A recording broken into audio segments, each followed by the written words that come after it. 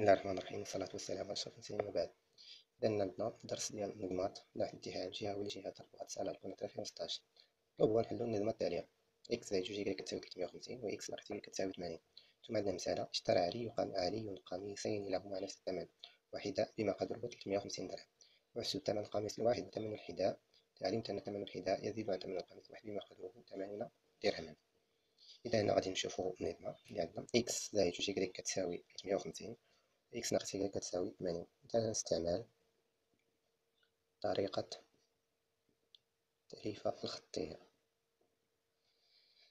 إذا هنا غادي نضربو نحاولو مثلا نعيد نخلصو من x إذا هنا غادي نضربو مثلا في واحد نضربو في ناقص واحد. إذا شنو غتعطينا واحد ضارب غتعطينا هي إكس زائد جوج إكريك تساوي تلتمية وخمسين. هنا ناقص واحد في إكس هي ناقص إكس. ناقص واحد في ناقص إكريك هي زائد إكريك ناقص واحد في ثمانين هي ناقص ثمانون ثم نجمع طرفي المعادلتين. واحد واثنان طرف إذا هذه واحد وهذه اثنان طرف بطرف.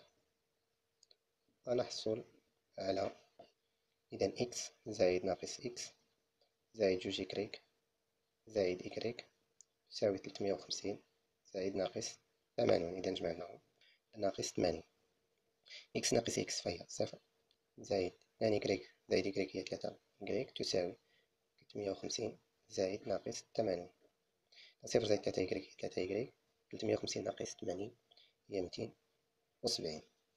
إذا نخلصو من إكريك تلاتة نقسمو على تلاتة الطرف الثاني نقسمو على تلاتة. يبقى عندنا إكريك تساوي ميتين وسبعين مقسوم على تلاتة هي تسعون. هي لنعوض مثلا إكريك بتسعون في المعادلة. مثلا إكس زائد جوج إكريك كتساوي تلتمية وخمسين. إذن شنو غيعطينا تعطينا x زائد جوج ضارب تسعون تساوي تلتمية وخمسين. إذا x زائد جوج تسعون هي مية وثمانون تساوي تلتمية وخمسين. إذا x يساوي تلتمية وخمسين ناقص مية وثمانين. تلتمية وخمسين ناقص مية وثمانين هي مية وسبعون. ومنه حل النظمة وتزوج إكس اللي هو مية وسبعون وإيكغيك اللي هو تسعون ثم قرينا السؤال الثاني إذا المسألة اشترى علي قميصين لهما نفس الثمن وحذاء بما قدره 350 درهم. واحسب ثمن القميص الواحد وثمن الحذاء واحد. ثمن الحذاء إذا علمت أن ثمن الحذاء يزيد عن ثمن القميص بما قدره 80 درهم. إذا المطلوب أن نحسب ثمن القميص وثمن الحذاء يكون مثلا إكس هو ثمن الحذاء. ليكن مثلا إيكغيك هو ثمن القميص. الواحد إذا هذا هو السؤال اللي بغينا نجاوب عليه. ثم أولا قلنا اختيار المجاهيل المناسبة. ثانيا صياغة النظمة صياغة النظمة عندنا جزء الجملة الأولى.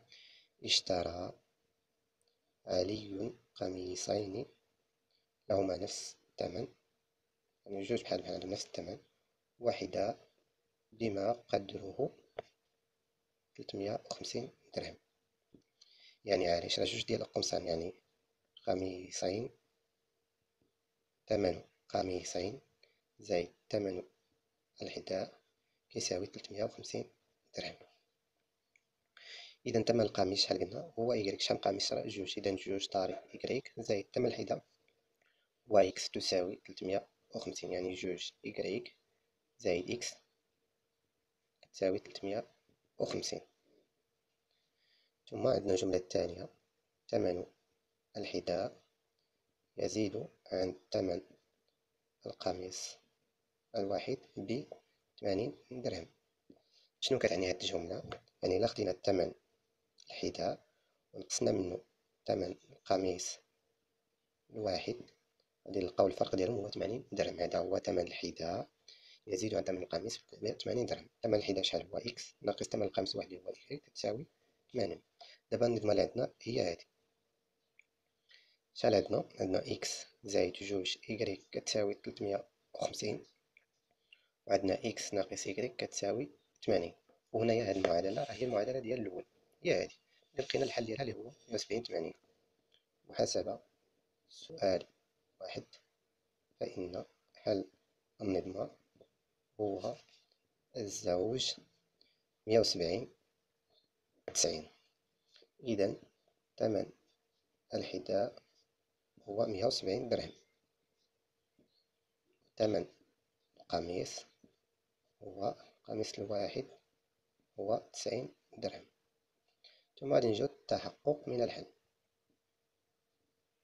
شنو هو التحقق من الحل هو إلى أن الثمن وحدة خصنا نلقاو الاشتراء قميص إلى أن الثمن وحدة مقدره 350 يعني الثمن ديال الحذاء اللي هو 90 170 درهم. زائد الثمن ديال القميصين يعني جوج ضارب 90 درهم. إذا 170 زائد جوج ضارب 90 اللي هي 180 تساوي 350 درهم.